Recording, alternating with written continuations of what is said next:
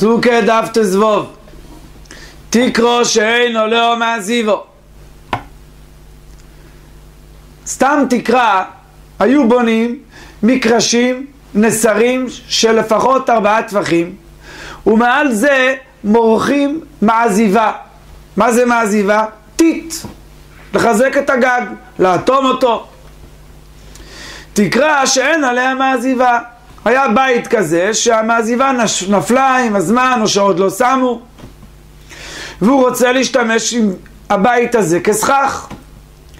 רבי יהודה אומר, בייס שמאי אומרים מפקפק ונוטל אחת מבינתיים.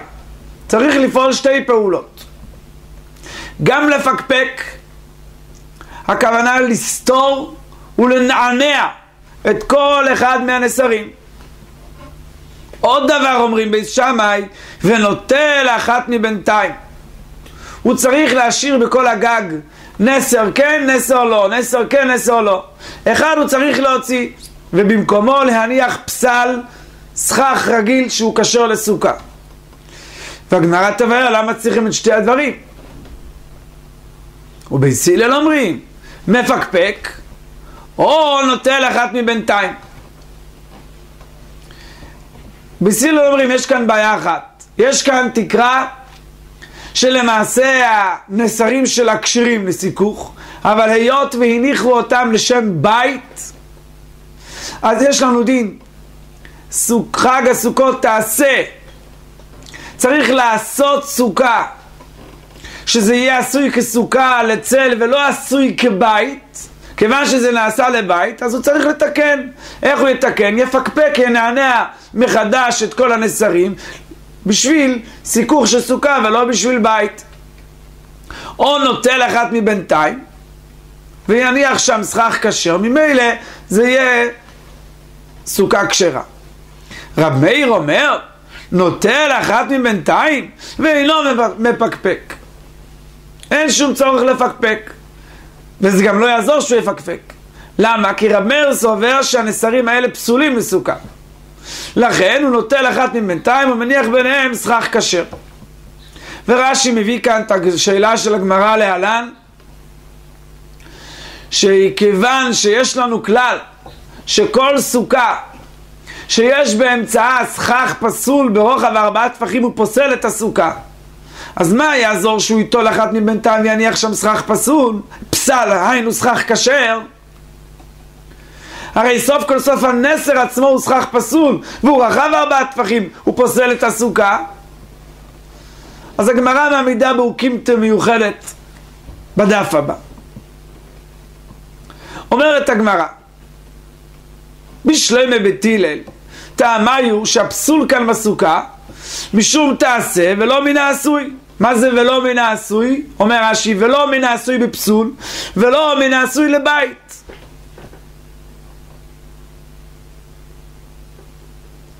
אז אם מפקפק אביד לי מעשה, הוא עושה עשייה מחדש לכבוד סוכה, היא נוטל אחת מבינתיים, גם אביד, אביד במעשה. אז מובן דברי בית הלל. אלא בית שמאי, מה הייתה מאיו? הם הרי מצריכים את שתי התיקונים ביחד, גם לפקפק וגם ליטול אחת מבינתיים. למה? אם הם סוברים שהבעיה הייתה משום תעשה ולא מן העשוי, בכלל לסגי כמו בייס הלל. ואם משום שהם חוששים גזירת תקרה, הם סוברים שהסכך הזה כשר. רק יש בעיה שאנשים יחליפו בין זה לתקרה רגילה של בית? ונוטל אחת מבינתיים סגי. עונה הגמרא, לעולם בייס שמאי סוברים משום גזירת תקרה. לכן זה חומר כזה, נסרים כאלה שהם רחבים ארבע טפחים, זה חומר פסול, הוא לא טוב לסוכה, לא משחקים בו, כי זה דומה תמיד לבית. אז לכן, ואחי כאמרי, אף על פי שמפקפק זה לא יעזור, היא נוטל אחת מבינתיים, היא, היא לא, לא. באמת בית שמאי לא מצליחים את שתי התקנות. הם בעיקר רוצים לומר חייבים ליטול אחת מבינתיים. לפקפק אין לזה שום משמעות, כיוון שהנסרים עצמם הם לא רוצים, חז"ל לא רוצים שישחחו בהם שום גזיר אז תיקרו. יחי, בוא נמשיך את הסייפה, אמס סייפה. רב מאיר אומר נוטל אחת מבינתיים אבל לא יפקפק. ולפי איך שאנחנו הסברנו עכשיו שזה שיטת בית שמאי, רב מאיר היינו בית שמאי. מה ההבדל ביניהם? איזה מין שיטה שלישית זה? עונה הגמרא אחי כמה, נכון. רב מאיר בא ואומר, לא נחלקו בית שמאי ובית סילה בדבר זה, אלא כולם מסכימים שצריכים לגזור גזיר אסתיקרו. אומרת הגמרא, מה חידש כאן רבי? מה יקום משמעון במשנה כאן? דרב מאיר ריטלי גזירת תקרא ורבי יהודה לייסלי, רבי יהודה סובר שאין גזירת תקרא ובעצם זה סוג סכך כשר? והוא הפליגו בחד זימנה זה היה הדיון במשנה בדף הקודם. דתנן מסחררים ונסרים דברי רב יהודו ולא חוששים לגזירת תקרא ורב מאיר אוסר אמר רב חייא ברא ואמר רבי יוחנן בעצם לא בדף הקודם, במשנה הקודמת, יש כוונה אחרת לגמרי. רישה בנסרים משופים עסקינן. נסרים משופים היינו נסרים משויפים. שמה? שזה מתחיל להיות דומה לכלי. יש לנו הלכה שעץ שאין לו בית קיבול לא נחשב כלי. אם יש לו בית קיבול הוא כלי והוא יכול לקבל טומאה, הוא פסול לסיכוך. אז הרי שמדובר בנסחים משופין עסקינן. משום גזירת כלים נגעו בה. רבי יהודה אומר, אפשר לשחק בנסרים אפילו שהם משופים. רבי אומר שלא ישחק בנסרים, למה? כיוון שהם דומים לכלים שיש להם בית קיבול, יכולים להחליף ביניהם, כיוון שכבר משויפים הם נראים איזה כלים שמשתמשים למשהו ולא משחקים בהם. טוב, אומרת הגמרא, ולרב יהודה אמר רב שאמרנו למעלה בדף י"ב שהוא אמר שיחך בחיצין זכרים שם מדובר אדם שלקח את העץ הזה שבראשו רגילים לנעוץ חץ של ברזל. זה נקרא חיצים זכרים שזה עץ בלי בית קיבול, בלי שקיעה אלא הוא החץ הזכר שנכנס בברזל. קשיירו אבל אם זה בית יד של עץ שהוא נקבה שבו מכניסים את הברזל, פסולו. אז מה אתה רואה מפורש שהרב אמר? שהעצים הזכרים, החיצים הזכרים האלה כשרים, ולא גזר זכרים מעטו נקבות, אז אכן אמר לא נגזור נסרים משופים מעטו כלים. הרי רב ודאי לא סובר את הגזרה הזאת. אז גם רב מאיר, מה פתאום להסביר ככה? אלא על כורחוך, רב יגיד הסבר אחר. רשא פליגה בגזירת תקרא, וסייפה פליגה גם כן בגזירת תקרא. והפליגה בתרתי זימנה לא אומר לי. מה ששאלת למה צריכים לחלוק פעמיים באותה מחלוקת, אתה צודק. סייפה רב יהודה דקאומר לרב מאיר. זה המשך המשנה הקודמת. במשנה הראשונה כתבנו שרבי יהודה סובר שאין גזירת תקרא ורב מאיר סובר שכן. אומר לו רבי יהודה לרב מאיר, אמריקו אסרת בנסרים משום גזירת תקרא, היי סברה לבית שמא יהודי יסלו, ובייסילי לא יגזרה. אז המשנה שלנו ממשיכה ומביאה את דברי רב יהודה. ואמר רב מאיר, לא נחלקו בית שמאי ובית הילי בדבר זה. להפך, פה כולם מודים שיש גזירת תקרה. טוב, כל ההסבר הזה במשנה, הניחא לרב, שאמר למעלה מחלוקת בין רב מאיר לרב יהודה, ושיש בהם ארבעה. דרב מריד לגזירת תקרא ורב יהודה לייס לגזירת תקרא. אלא לשמואל דאמר, בשאין בהם ארבעה מחלוקת. בנסרים כאלה שהם כבר שלושה טפחים, ועדיין אין בהם ארבעה, שם נחלקו רב מאיר ורב יהודה אם יש בהם גזירת תקרא. אבל יש בהם ארבעה, שמואל אמר דברי הכל פסולה. ופה הרי בתקרה, סתם תקרה זה נסרים של ארבעה טפחים. הסייפה במאי פליגה? איך פתאום רבי יהודה בא ואומר שלפי בייס מספיק או לפקפק או ליטול אחת מבינתיים? עונה הגמרא בביטולי תיקרו מפלגה. יש כאן חידוש גדול בדעת רב מאיר. מר סובר בוט לו באוכל ומר סובר לא יבוט לו באוכל. מה הפירוש? סליחה, לא בדעת רב מאיר, בדעת רב יהודה. שמואל שסובר שתמיד אם זה רחב ארבעה טפחים גם לרב מאיר, גם לרב יהודה זה סכך פסול. צריכים לגזור בו משום גזירת תיקרו. מה הרעיון של גזירת תקרה? אם תתיר לאדם לשב בסוכה שהסיכוך שלה זה נסרים רחבים ארבעה טפחים, הוא גם יבוא וישב בבית. יגיד, מה ההבדל בין זה לבית? זה אותם נסרים. אבל היהודי הזה אצלנו, שהיה לו בית, והוא לא הסתפק לשבת תחת הנסרים האלה, אלא הוא הלך ופקפק את כל הנסרים, או נטל אחת מבינתיים. מה בעצם הוא מגלה? הוא מכריז קבל עם ועדה שהוא יודע שנסר כזה רק אם הוא הונח לשם סוכה הוא כשר, אבל אם הוא הונח לשם בית הוא פסול, אז על אדם כזה אין סיבה לגזור. עוד פעם, בביטול תיקרו כמפלגה, מה סבר בוט לו באוכל. רבי יהודה אומר, כיוון שהוא עשה פעולה בנסרים, הוא ביטל את בעיית חשש תיקרו, גזירס תיקרו. ומר באוכל לא יבוט לו. רב מאיר אומר, מה פתאום? בנסר של ארבע אמות? של ארבע טפחים? אפילו שהוא יפקפק או יעשה משהו? לא בטלה גזירס תיקרו. אומרת המשנה, המקרה סוכתו בשפודים או בארוכות המיטה. שפודים זה שפוד שצולים עליו בשר, זה כלי, כלי של מתכת. ארוכות המיטה זה חלקים של המיטה, כפי שנראה בגמרא להלן, שהם עדיין נחשבים כלי, אז אם כן הם מקבלים טומאה. זה חומר שפסול, אי אפשר לסכך איתו. מה זה מקרא? לא שהוא שיחך בהם את כל הסוכה. אלא הוא הניח אותם על הגג כקורות כאלה שיחזיקו את הסכך. כך רש"י מפרש, לכן זה נקרא מקרא. אם יש רווח ביניהן כמותן, כשרה.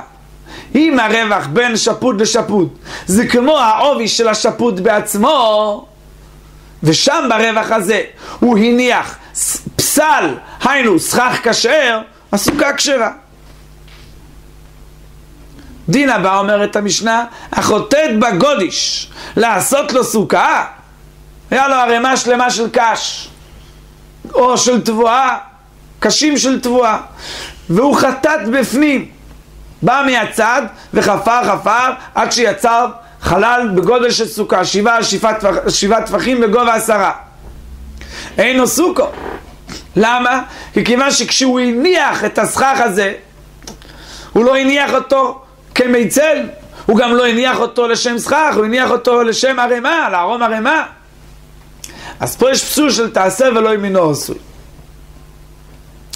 טוב, למדנו במשנה דין, שאם הוא מניח רווח בין השפודים שהם לא כשירים לסכך, כמו השפודים, היינו שיוצא שיש לנו על הגג חצי, חמישים אחוז סכך כשר וחמישים אחוז סכך פסול, כשר. לימא תיהוי תיובתא דרב הונא בריה דרב יהושע דאיתמר למדנו דיון במסכת העירובין. לגבי הלכות שבת אדם שבנה היקף סביב השטח שהוא נמצא בו והוא בנה, הוא הניח עמוד רחב שלושה טפחים ושטח ריק שלושה טפחים וכן הלאה. למה שלושה טפחים? כי אז אי אפשר לומר לבוד. לבוד אומרים רק בפחות משלושה טפחים. ונמצא שהוא מוקף במחיצה שהיא 50% בנויה, 50% פרוצה. פרוץ כעומד. רב פפא אומר מותר, זה כבר טוב, זה מספיק לעניין הלכות שבת, זה נחשב מחיצה. רב הונא בריה דרב יהושע אמר אסור. לכאורה המשנה שלנו לא כמו רב הונא בריה דרב יהושע, רואים שיש להסתפק ב-50%. אמר לך רב הונא בריה דרב יהושע, אתה יודע מה הכוונה אצלנו במשנה כמותן? בנכנס ויוצא. למשל, אם השפוד הזה רחב טפח, והוא הניח בין שפוד לשפוד רח... שטח פתוח, שהוא יכול להכניס שם סכך כשר ברוחב טפח, אבל יכול להכניס ולהוציא אותו. שטח שאתה יכול להכניס סכך כשר רוחב טפח, הוא קצת יותר, זה נקרא נכנס ויוצא. אם כן נמצא שיש כאן יותר מ-50% סכך כשר. אומרת הגמרא, ואיפה לצמצם? הגמרא בהתחלה הבינה שהמתרץ אומר, תמיד הרווח בין שפוד לשפוד, אם הוא אותו דבר, הוא חייב להיות קצת רחב. לא נכון. יכול להיות שהוא מניח שפודים טפח, וביניהם סכך כשר בדיוק טפח, והוא מצמצם את הכל, אז יוצא בדיוק אותו דבר. אמר רבי אמי, נכון, אבל מדובר שהוא בכוונה מעדיף, במעדיף. הוא בכוונה דואג שהשטח בין לשפוד לשפוד יהיה קצת יותר. לכן יש כאן רוב סכך כשר. רובי אמר, אפילו תימה בשן מעדיף. אם היו נתונים שתי, נותנן ערב, ערב נותנן שתי. מה הכוונה? אם השפודים, היינו הסכך הכשר, היה מונח בצורה של שתי, היינו ממזרח למערב, מעליו הוא הניח את הסכך הכשר מצפון לדרום, בכיוון ההפוך. אז מה יוצא? יוצא בעצם שהסכך הכשר ממלא את כל החלל בין השפודים, אבל הוא גם מעל השפודים.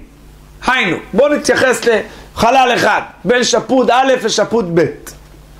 כשאתה מסתכל עליו, הוא הרי הולך ממזרח למערב, ואתה רואה מעליו סכך כשר מצפון לדרום. מה מעמיד? איך הסכך הכשר עומד בחלל הפתוח? הוא נתלה קצת על השפוד מצד ימין ועל השפוד מצד שמאל. אותו מקום שהסכך הכשר תלוי מעל השפודים, נמצא כביכול שהסכך הכשר הזה מש... מבטל את השפוד שתחתיו. רש"י לא כל כך מבואר למה הוא מבטל, אבל מפרשים מדברי רש"י שזה נחשב שכיוון שהשפוד משמש להחזיק את הסכך הכשר, הוא בטל וטפל אליו. לכן זה נחשב שיש כאן רוב סכך כשר. זה ההסבר של רובה. טוב, עכשיו הגמרא חוזרת למשנה. קראנו במשנה שהוא שיחך בארוחות המיטה. זה לא סכך טוב. הוא קירה בארוחות המיטה. למה זה לא טוב? לכאורה, זה קורות שבורים, שהם בפני עצמם לא נחשבים כלי, הם כבר לא מיטה, אז למה לא בטל מהם שם הכלי? לכאורה נוציא מכאן, שאם היה לנו כלי שהיה לו שם של מיטה, הוא היה מקבל טומו, ועכשיו הוא התפרק לחלקים, עדיין על החלקים האלה יש שם של כלי שהיה מקבל טומו, ואי אפשר לשחק בהם. לימה מסייע לי לרב עמי בר תביומי. דאמר רב עמי בר תביומי, שיחכה בבלעי כלים פסולה. הגמרא להלן תסביר, שמה התכוון רב עמי בר תביומי? בגד שיש בו גודל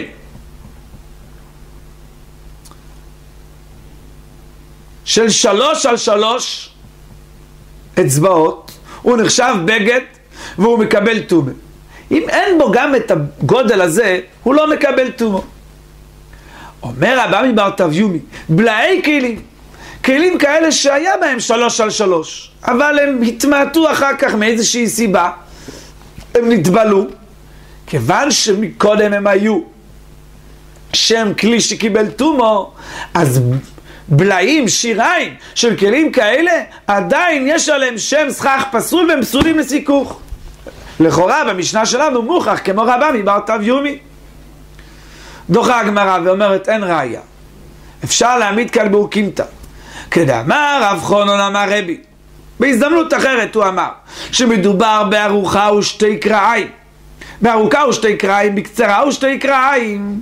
אכן נמי בארוכה ושתי קרעיים, בקצרה ושתי קרעיים. מה הכוונה? כל מיטה יש לה אורך ויש לה רוחב. כשאתה בונה ריבוע לצורך המיטה, אז יש לה קורה אחת, שתי קורות ארוכות לאורך ושתי קורות קצרות לרוחב. רב חונון עומר רבי אמר שמדובר בקורה, באחת מהקורות הארוכות, שעדיין מחוברים לשתי רגליים. או באחת הקורות הקצרות שעדיין מחוברים לשתי רגליים. ואז מה יש? עדיין הקורה הזאת, למרות שהיא כבר התפרקה מהמיטה, יש עליה לבד שם מיטה. היא ראויה למשהו. כפי שנראה ביד המשך הגמרא. היא עדיין יש עליה לבד, היא לא נחשבת חלקי מיטה. וכבר נבהר. היכי איתמר דרב חונון אמר רבי יהוד אתנא, משנה בכלים. מיתה מטמאת חבילה ומטהרת חבילה דברי רבי אליעזר. אדם שיש לו מיטה מפורקת, היא לא יכולה לקבל טומאה. רק אם היא חבילה, היינו מחוברת כל כולה. אומר רש"י, איברים, איבר, היא לא איברים איברים, אלא מתוקנת ביחד.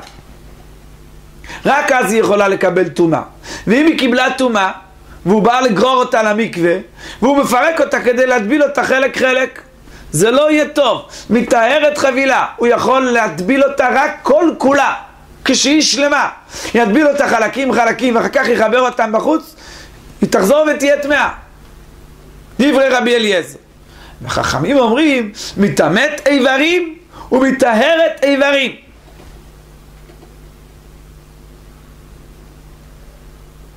מה הניעו? מה זה איברים?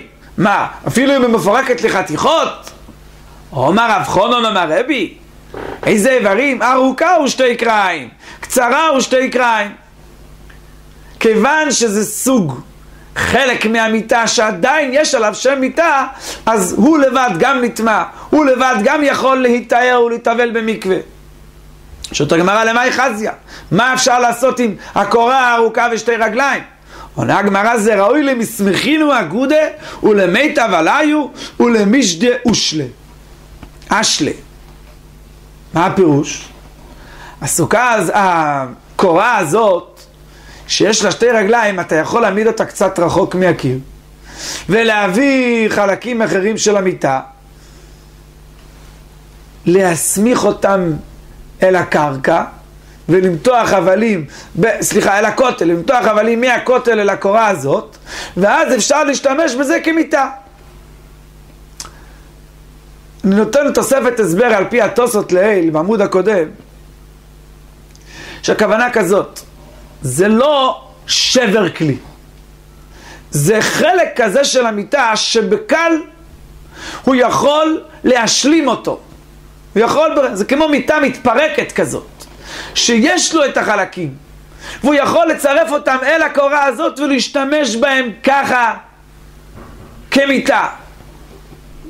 אז כיוון שיש לו את החלקים, זה בידו, וזה עומד לכך, זה לא נחשב מיטה מפורקת. היא בפני עצמה, הקורה הזאת עם הרגליים, תקבל טומאו וגם יכולה להיטהר בפני עצמה. אם כן לענייננו, קורה כזאת שיש עליה עדיין שם כלי, אם אני אשים אותה על הסכך, זה יחשב כלי שמקבל טומא ולא קשור לסיכוך. טוב, כיוון שכבר הבאנו את הדין הזה, אז גופה, אמר רבא מבת אביומה, שיחכה בבלעי כלים פסולה. מהי בלעי כלים? אמר אביי, מטלניות שאין בהן שלוש על שלוש. מטלניות כמו מטלית כזאת. קטן, שאין בהם שלוש על שלוש, דלא חזיין, לא לעניים ולא לעשירים, זה כבר מדי קטנצ'יק. זה כבר לא מקבל טומא. אבל אם זה בלאי של בגד שהיה בו שלוש על שלוש, אפילו שכרגע הוא קטנצ'יק והוא בפני עצמו לא מקבל טומא, אבל כיוון שהוא בלאי של כלי שהיה מקבל טומא, אז הוא לא ראוי לשיחוך. תני כבוד סדר רבה מבר תביומי, מחצלת של שיפה ושל גמי. זה חומר של עץ כזה. צמח. אף על שיריה, אף על פי שנפחתו מכשיורה, כפי שנראה שיש שיעור לכל מחצלת ומחצלת לקבול הסתומה, אף על פי שזה לא נשאר בשיעור, זה שיריים. רש"י מביא, שמפץ השיעור שלו שישה על שישה טפחים. אז זה פה לא שישה על שישה טפחים, אין משחחים בהם. למה? כיוון שזה שיריים של דבר שהיה ראוי לקבל טומו. ממשיכה הברייתא ומסיימת, מחצלת תקנים גדולה, שבדרך כלל לא עושים אותה לסיקור, לשכיבה, משחחים בה, היא לא מקבלת טומו. קטנה, אין משחחים בה. למה? כיוון שהיא עשויה לשכיבה, והיא מקבלת טומאה. רב לזר אומר, אף היא מקבלת טומאה והם משחחים בה כסתומה, מכינים אותה לשכיבה, גם את הגדולה. עד כאן דף, דף תזבוב.